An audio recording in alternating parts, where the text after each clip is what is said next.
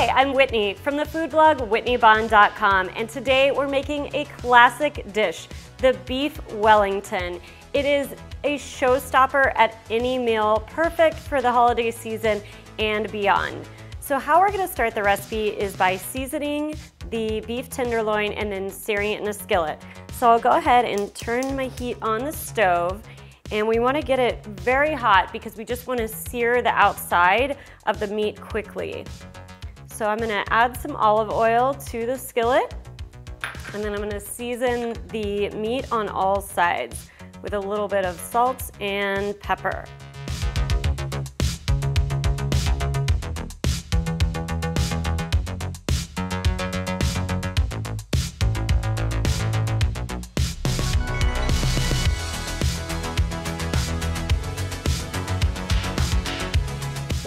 Skillet and the oil is hot, we're gonna go ahead and add our beef tenderloin and sear it on all sides.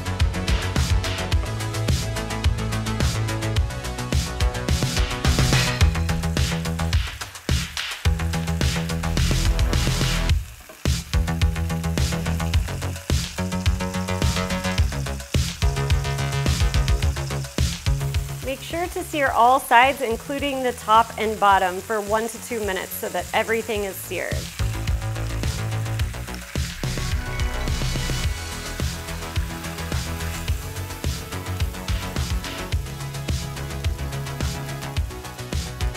Once the meat is seared, remove it from the skillet, turn the heat off, and let it cool. And you can transfer it to the refrigerator to let it cool a little faster, and then we're gonna rub it down with some Dijon mustard. Once the beef tenderloin is cool enough to handle, go ahead and brush it with Dijon mustard on all sides. You'll use about two tablespoons of Dijon mustard to coat the outside of the beef. And then we're gonna place it back in the fridge again to cool um, while we make our mushroom mixture. All right, our beef is all covered in mustard and going back into the fridge.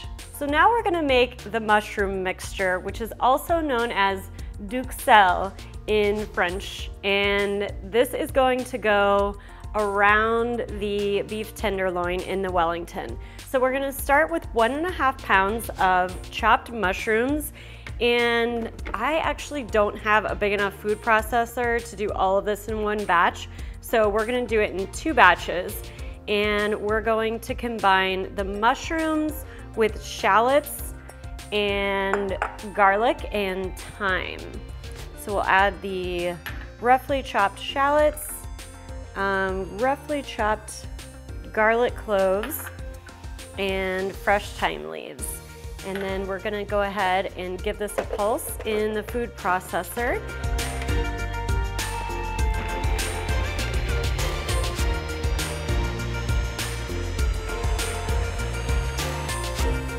You want to stop when the mixture is finely chopped, but not mush. So it should look something like this. And then we're going to add butter to a large skillet on the stove and we're gonna cook this down. So medium-high heat, we're gonna add the butter and let it melt. So now that we have all of our duxelles uh, mixture prepared and our butter has melted in the skillet, we're gonna go ahead and add it. And we're gonna let this cook down for about 25 minutes because you want to cook all of the moisture out. This is one of the keys to a successful beef Wellington is making sure that there's no extra liquid that would cook inside and make the puff pastry soggy. So we wanna make sure we cook this down for plenty of time and cook all of the water out. Now, while the um, duxelle mixture is cooking down, we're gonna season it with salt and pepper and then just let it simmer for 25 minutes.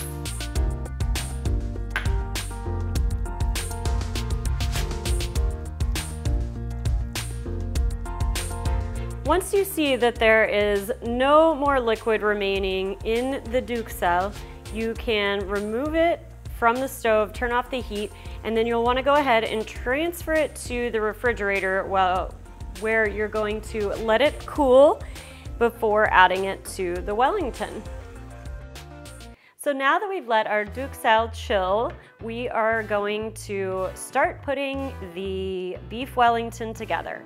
So we're gonna need 12 slices of prosciutto and we're gonna lay these out. I've already laid out two pieces of plastic wrap and so we're gonna overlap these slightly and then our Duxelles mixture will go on top and then we will roll the beef tenderloin up in the prosciutto and Duxelles mixture. And then we're gonna let it chill in the refrigerator. So we wanna slightly overlap the prosciutto, so we'll do six slices down here and then um, six slices on top.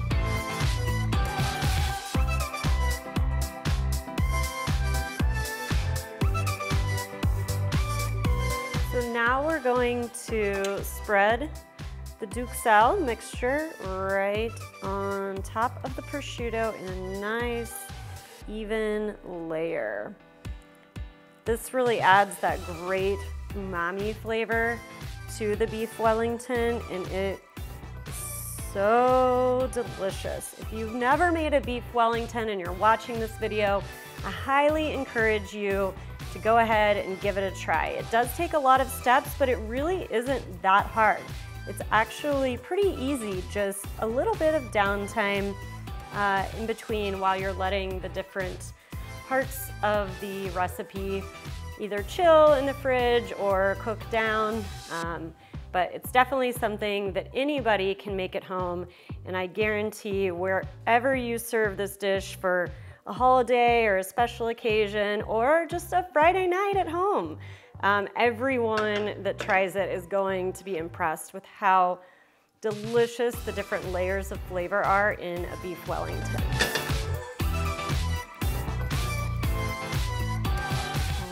So once we've got a nice even layer of our Duxelles, we are going to go ahead and put our beef Wellington at the end. Now the beef Wellington has been chilled in the fridge and coated in mustard. And now we're going to use the um, plastic wrap to help us roll it up.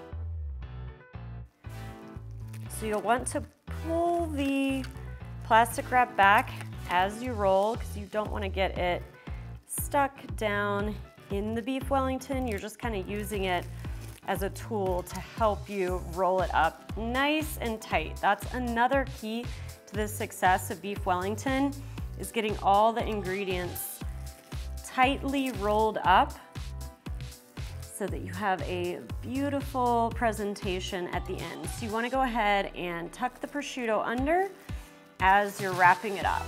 And use your plastic wrap to help you continue rolling it and then if any of the Duxelles falls out, just go ahead and tuck that in and then tuck over the sides of the prosciutto. All right, it is looking beautiful. And now we're gonna use this plastic wrap to wrap it up tightly and place it back in the fridge to chill for 10 minutes before we wrap it in the puff pastry already a uh, beauty. And into the fridge we go. All right, now that we have chilled the prosciutto wrapped uh, beef tenderloin for about 10 minutes, we're going to roll out our puff pastry dough. If you have two sheets that you're working with, just slightly overlap them in the middle.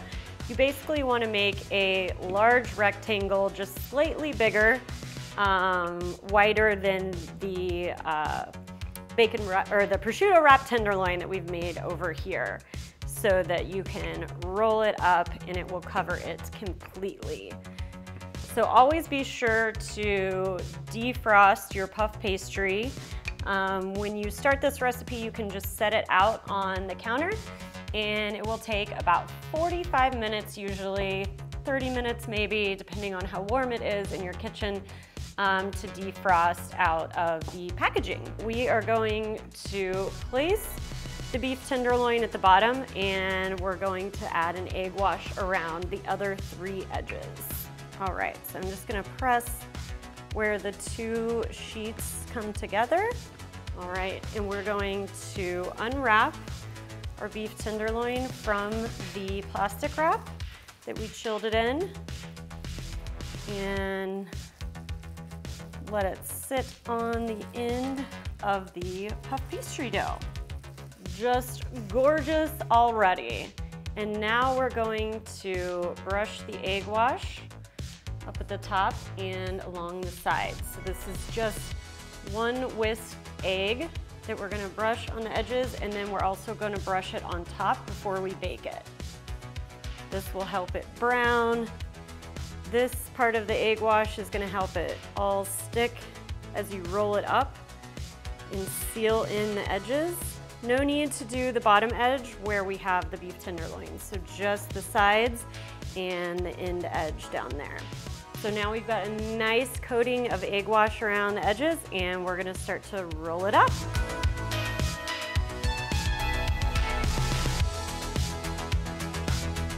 After the Wellington is rolled up, we're going to wrap it in another piece of plastic wrap and we're gonna let it um, chill in the fridge for another 30 minutes.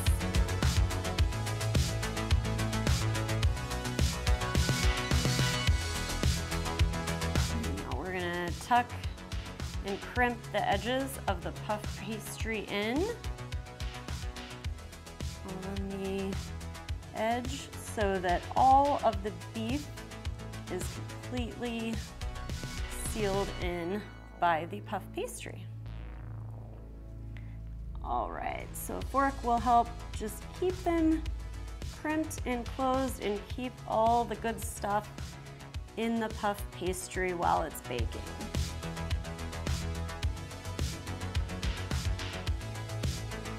Now we're gonna get out a piece of plastic wrap and we're gonna wrap this baby up, let it chill, and then next step will be baking the beef Wellington.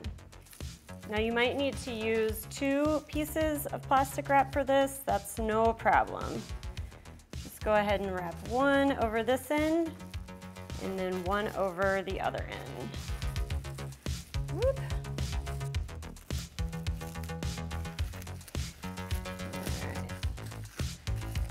That in tightly.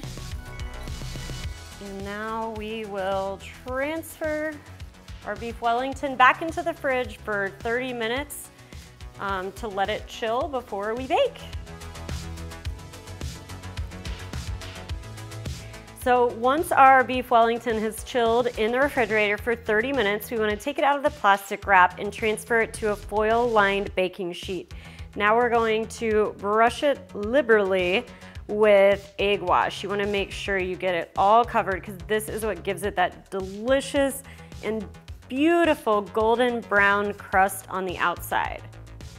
All right, now that the beef Wellington is covered in the egg wash, we're going to score it with a paring knife. So this is both for venting out the steam as well as giving it a beautiful presentation. So I like to do diagonal in each direction, scores about 8 to 10 in each direction. And this will just give it a lovely presentation at the end after it's baked. Perfect. And now we're going to finish off the beef Wellington before baking it with a little flaky sea salt. This is both delicious and adds just a nice touch on top of the beef Wellington. Beautiful little crystals of flaky sea salt finishes off this dish mm, just perfectly. Now we're going to place it in the oven and bake it for about 40 to 45 minutes until the internal temperature reaches 120 degrees for medium rare. We now have our absolutely gorgeous beef Wellington, beautifully brown crust on the outside, and we've pulled it out of the oven. I'm gonna transfer it over to a cutting board, and we're gonna let it rest for 10 minutes before we slice into it. So I recommend using two spatulas like this um, because it is a heavy uh, dish that is a little bit difficult to transport over to the cutting board. So using two spatulas, getting under the front and the back makes it a lot easier. So let's get this on here. Bam, beautiful. All right, we'll set a timer for 10 minutes and then we'll slice right into it. The time has come to slice into our beautiful beef Wellington and I cannot wait. It already smells amazing. So we're gonna slice about one inch to one and a half inch sections and then we'll serve it. You can serve it however you'd like. I'm serving it with mashed potatoes. That's my favorite way to serve beef Wellington. I'm just so excited right now to see the result of all of our hard work put into this beautiful piece of meat. Gorgeous!